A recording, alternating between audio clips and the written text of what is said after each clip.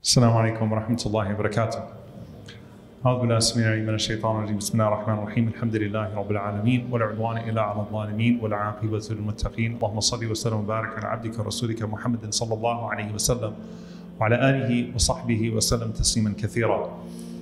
Dear brothers and sisters, in the interest of nasiha, sincere advice, the reflection that I want to give tonight, I want you to look inward, inshallah ta'ala, and let's think very deeply because we're getting now into crunch time, the most important 10 days of the most important month of the year. So, bismillah. I'm going to ask you all a question first. On the day of judgment, what are the barriers to your good deeds being accepted? The Prophet ﷺ said that there is a specific moment that a person is bankrupt on the day of judgment, rendered muflis, bankrupt on the day of judgment despite their prayer, despite their fasting, despite their qiyam. What are those deeds?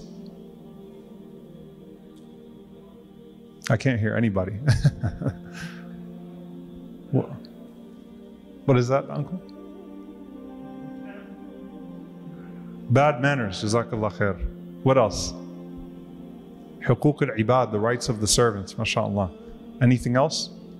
One of the sisters said something? Brothers? Okay.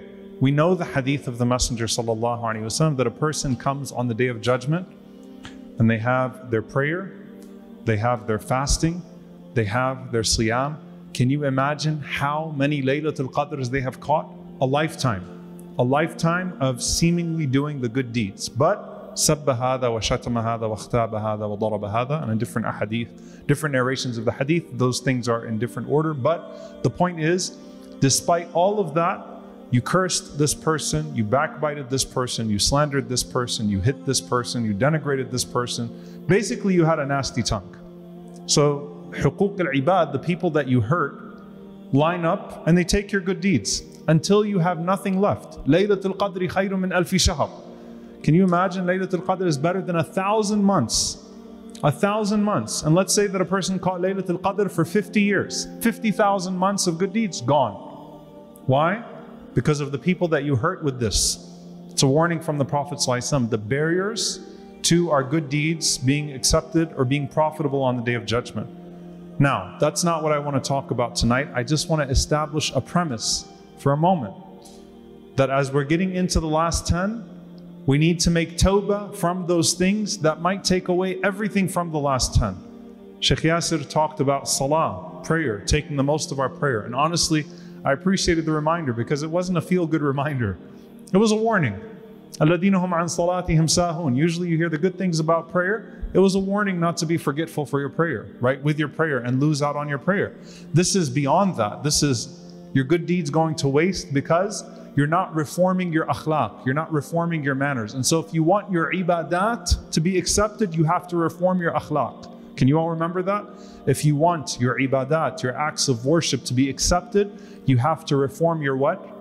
Your akhlaq, your manners. If you want your acts of worship to be accepted, you have to reform your manners. May Allah subhanahu wa ta'ala allow us all to reform our manners and to perform our acts of worship. Allahumma ameen. This is the time to do it. In this life, there's also another prominent aspect of these next 10 nights, which is dua to Allah. Constantly making dua. We have lists that we go to Allah with.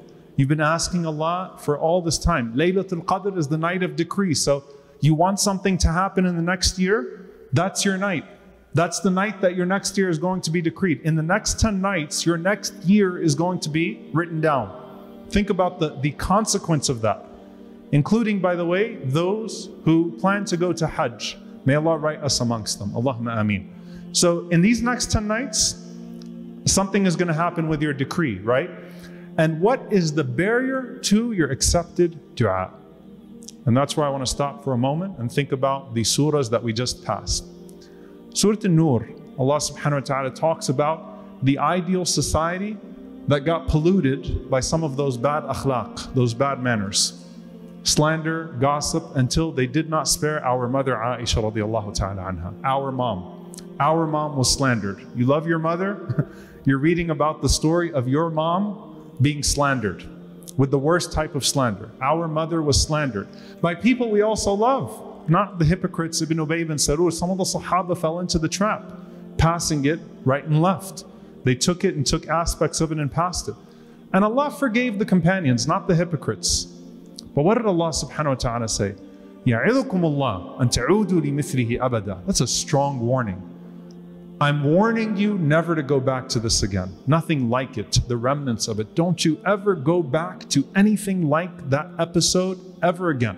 يَعِذُكُمُ اللَّهُ أَن تَعُودُوا لِمِثْلِهِ أَبَدًا Allah let you off with a severe crime. And yes, there were some people that had to pay the penalty of slander. And there were others that Allah knows. They, they, they passed the slander, but they were not amongst the main slanderers. But Allah subhanahu wa ta'ala offered an amnesty, but a warning with that amnesty. Don't you ever go back to that way again. Let there never be an episode like Hadithatul Ifk in the society of Medina again, like the slander of our mother Aisha radiallahu ta'ala anha in the society of Medina again. That's a strong warning. Honestly, if you're reading that ayah, the strength of it, it is such a, an admonishment. The strength of it, like it's not even, Allah does not even talk about what the consequences are. It's just Allah is warning you. I'm warning you, do not ever go back to anything like that again. Don't let that happen in the society of Medina again. Just like Uhud, don't let the disobedience of Uhud happen again. And they never did, right? The Sahaba never had another Uhud episode. And the Sahaba never had another Ifk episode.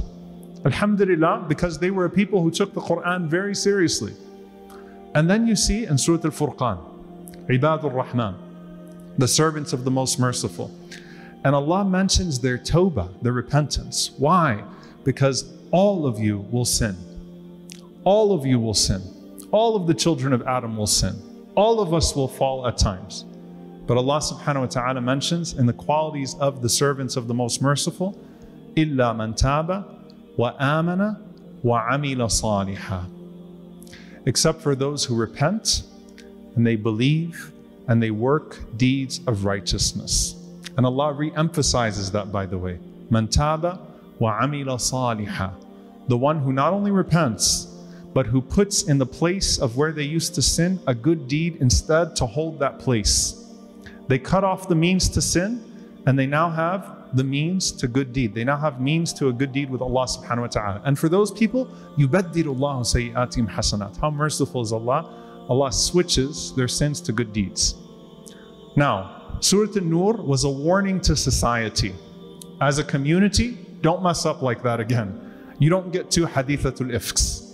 You get one, you messed up. As a community, make tawbah to Allah and learn the lesson as a community.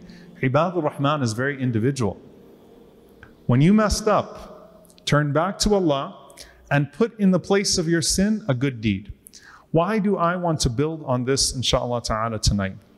Because just like there are barriers to our good deeds having any weight on the day of judgment, the barriers to our dua having any weight in this life is our insistence on sin. So the insistence on poor akhlaq make our ibadat meaningless. The insistence on sin render our du'as void.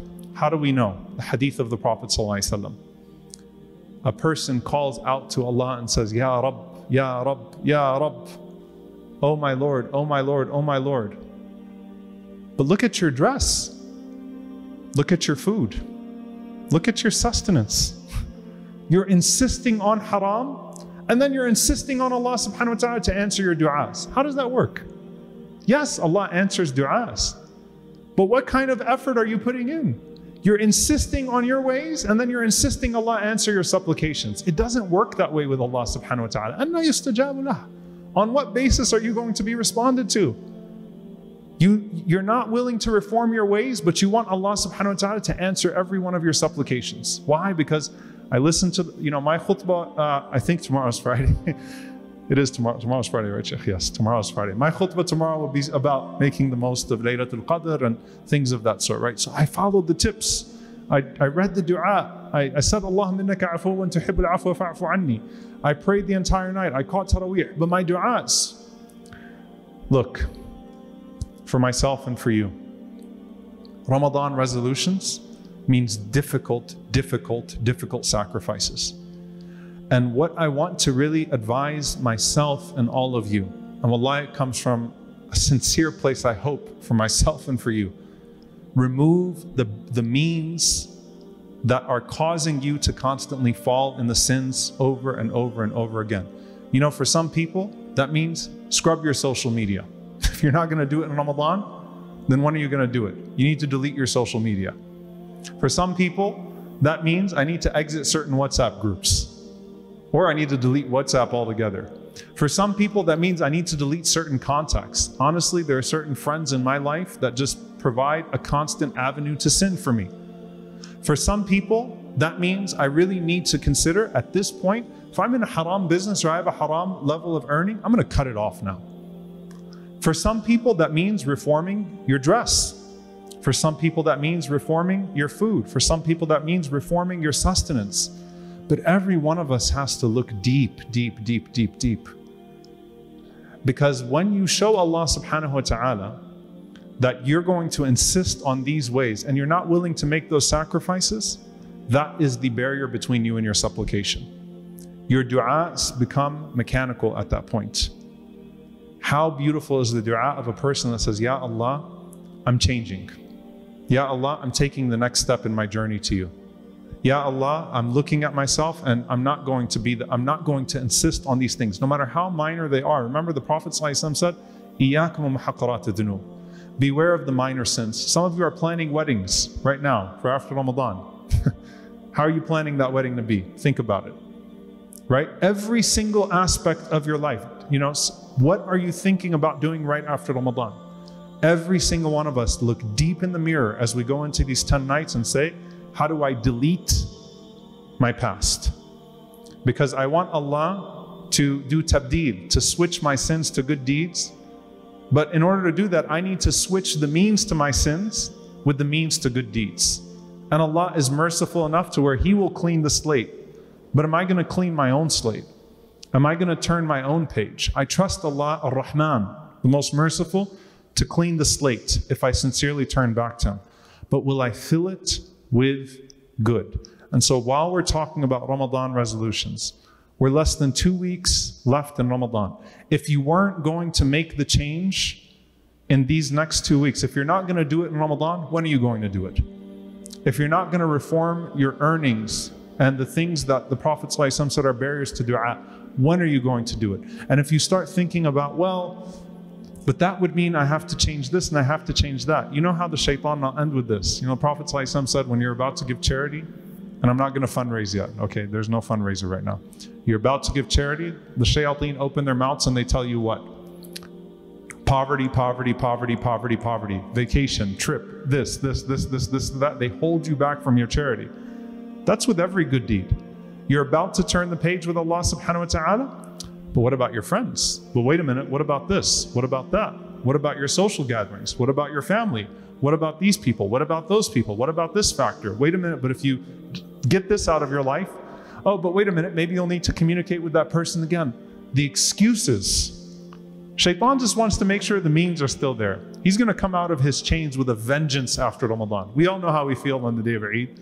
He will come out of his chains with a vengeance. He just wants you to maintain the, the pieces in place, the means, so that you go back to those things. Al muhasaba. Let's hold ourselves accountable and let's make some difficult sacrifices. And that's how you get your du'as answered. Just like we don't know how the sins affect our lives, they devoid, they make our lives devoid of barakah. They bring in our lives ibtilat. They bring in our lives trials and tribulations that we don't even trace back. The same thing, dear brothers and sisters, with our du'as. اللهم نقنا من الذنوب والخطايا التي تكبس الدعاء ونقنا من الذنوب والخطايا التي تنزل البلاء. We ask Allah subhanahu wa ta'ala to purify us from the sins and from the shortcomings that cause our du'as to not be answered. And we ask Allah subhanahu wa ta'ala to purify us from the sins and the shortcomings that cause tribulations to descend upon us. And we ask Allah subhanahu wa ta'ala to purify us from the bad characteristics and manners that cause our acts of worship to not be answered, not to not be accepted. We ask Allah subhanahu wa ta'ala to fill our hearts, to fill our eyes, to fill our minds, to fill our limbs with that which is pleasing to Him, and to purify us from all that is displeasing to Him. We ask Allah subhanahu wa ta'ala to allow this Ramadan to be a moment of a turn page with Him And we ask Allah subhanahu wa ta'ala that for anyone we have harmed, that Allah subhanahu wa ta'ala allow us to be forgiven by them as well. We ask Allah subhanahu wa ta'ala to correct our affairs in regards to the hereafter and correct our affairs in regards to the dunya. And we ask Allah subhanahu wa ta'ala to make us amongst those who catch Laylatul Qadr and who do not have Laylatul Qadr invalidated on the day of judgment. Oh Allah, accept it from us, allow us to catch it, and allow us to see it on the day of judgment.